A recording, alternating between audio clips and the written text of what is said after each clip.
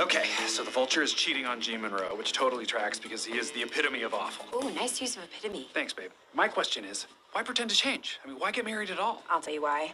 Because Jean's dad is worth a hundred million dollars and she's his only heir. Then why did she need our thousand dollars? I mean, I'm so happy we gave the money so the kids could have rice and etc. So, how do we break them up? Simple. We catfish him with Hitchcock's hookup app. Then, when he takes the bait, we make him end things with Jean respectfully and gently. Perfect. She hurts for a bit, but she eventually moves on and she finds a much better man. Yes, and as a distant secondary benefit, we get the mansion back. Agreed. Okay, so let's create a temptress that will boink match with him. What's the sexiest name? Valerie. That was fast.